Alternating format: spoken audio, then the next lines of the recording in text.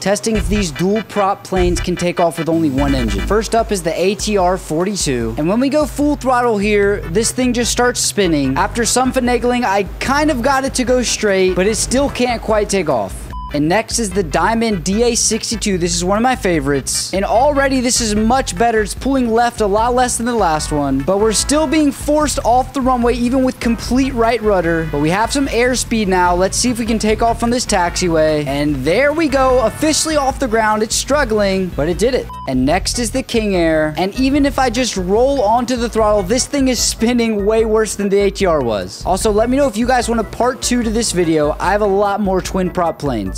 And now one of the best performance twin props in the entire world. This is the Twin Otter. Again, this one's starting off really well. We're not getting pulled to the left that much. I promise I didn't turn the second engine on. That's just moving from the wind. And the beloved Twin Otter does it. It doesn't want to climb, but we are off the ground.